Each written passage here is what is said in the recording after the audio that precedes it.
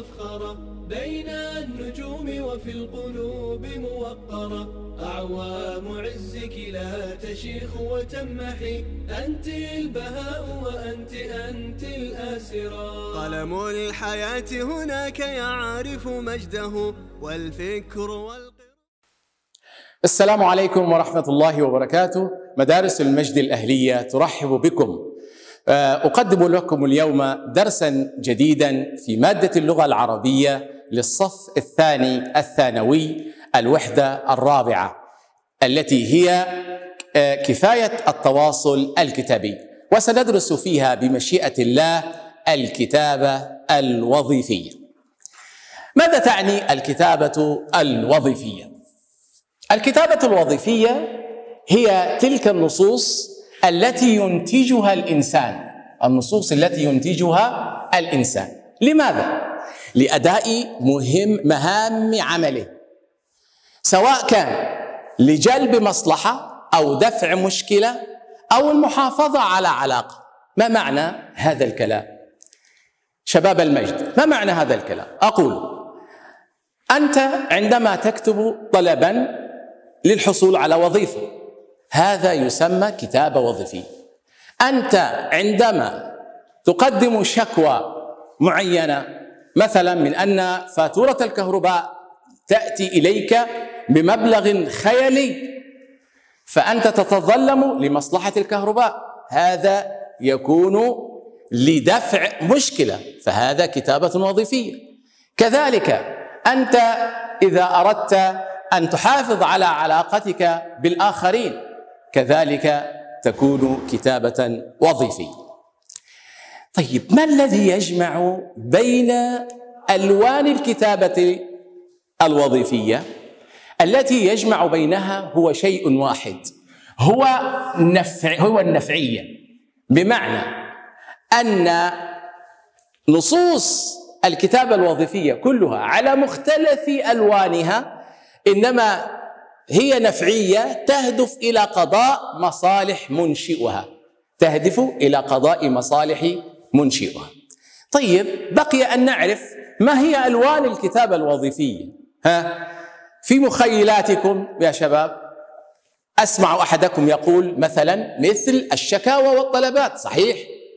كذلك مثل التقارير أيضا مثل الإعلانات الدعائية صح؟ مثل العروض التسويقية. نعم. مثل الخطب المحفلية. نعم. كل هذه ألوان من ألوان الكتابة الوظيفية. إذا عرفنا أن الكتابة الوظيفية هي النصوص التي ينتجها الإنسان لأداء مهام عمله.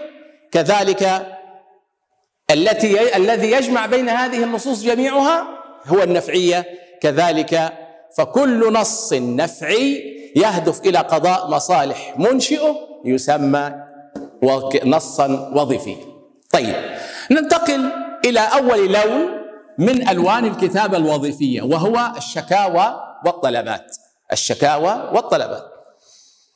ماذا يعني الشكاوى والطلبات؟ قلنا أنت لو عندك مشكلة فاتورة الكهرباء تأتي مثلا بمبلغ خيالي فأنت تقدم إلى مصلحة الكهرباء طلبا فيه شكوى أن هذا العداد ربما يكون قد خرب فتأتي تأتي المصلحة ويغيرون لك العداد أو هكذا.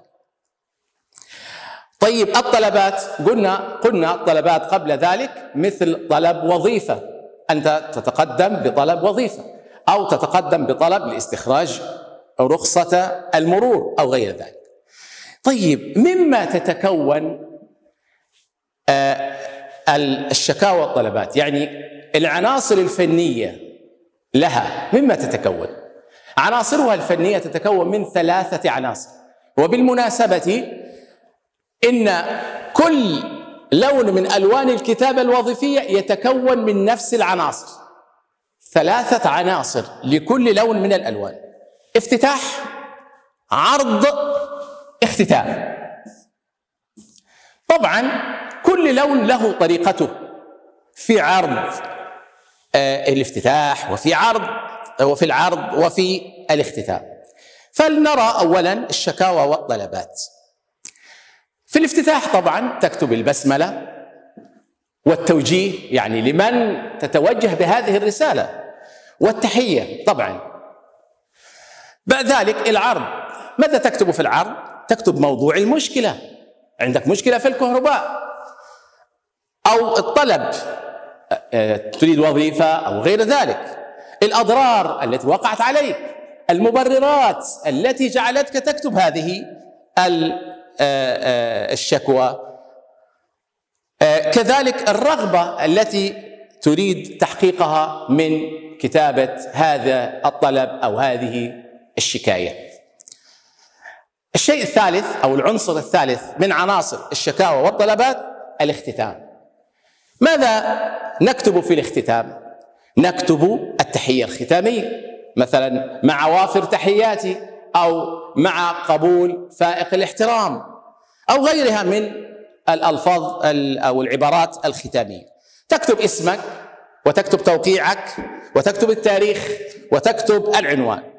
اذا كل رسالة من هذه الرسائل سواء كانت شكوى أو طلب تتكون من ثلاثة عناصر. وهذا أول لون من ألوان الكتابة الوظيفية. عندنا الحين لون آخر من ألوان الكتابة الوظيفية وهو التقارير. ماذا نعني بكلمة تقرير؟ هذه يعني محتوى التقرير أصلا ينتمي إلى الكتابة العلمية.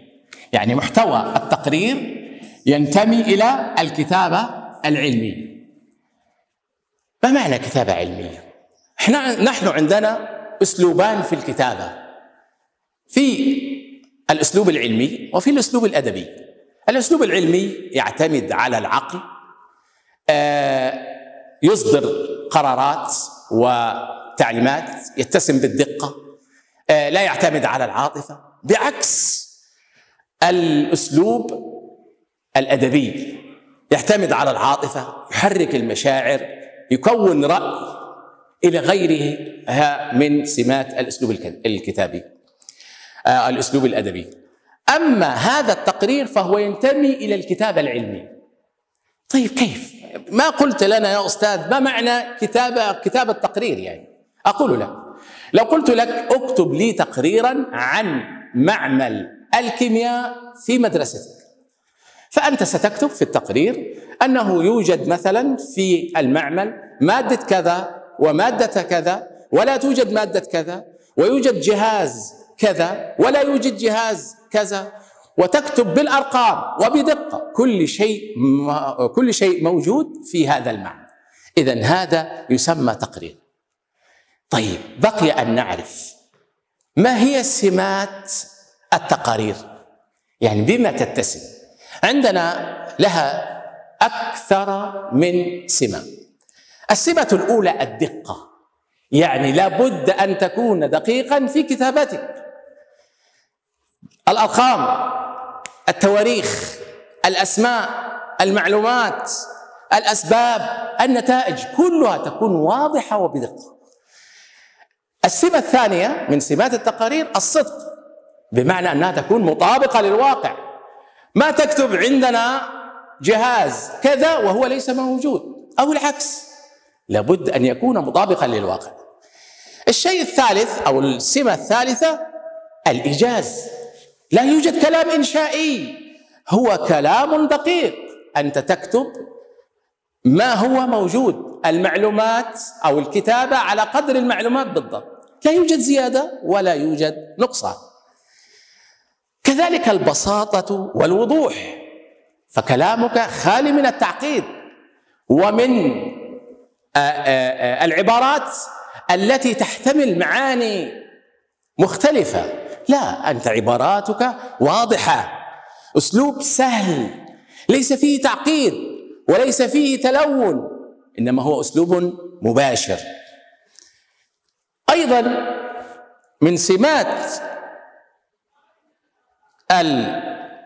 التقارير الموضوعية ونعني بالموضوعية عدم خلط الرأي بالحقيقة. يعني رأيك احتفظ به لنفسك. ما ينفع في التقرير تكتب رأيك. أنت تكتب ما هو موجود أو ما هو غير موجود. وعدم الانحياز ما يوجد انحياز لهذا الشيء أو ذاك وهكذا. آخر سمة من سمات التقارير العرض الإيضاحي ونعني بالعرض الإيضاحي هي تلك الرسوم والجداول والأعمدة البيانية المكتوبة في هذا التقرير. فأنت تسجل كل شيء بدقة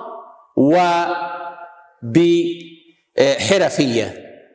طيب إذا كتبت تقريرك فإن كانت كل النشاطات التي كتبتها نفذت وبعضها لم ينفذ وأنت كتبتها أنك قد نفذت فإنك هكذا لم تلتزم الصدق لم تلتزم الصدق. طيب إذا أثرت مشاعرك أو إذا لم تؤثر مشاعرك في كتابة التقرير فيكون تقريرك موضوعيا. يكون تقريرك موضوعيا.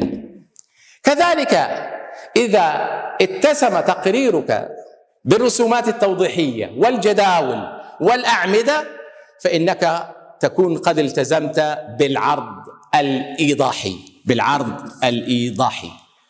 هذا وأتقدم لكم بشكر مدارس المجد الأهلية على حسن استماعكم والسلام عليكم ورحمة الله وبركاته.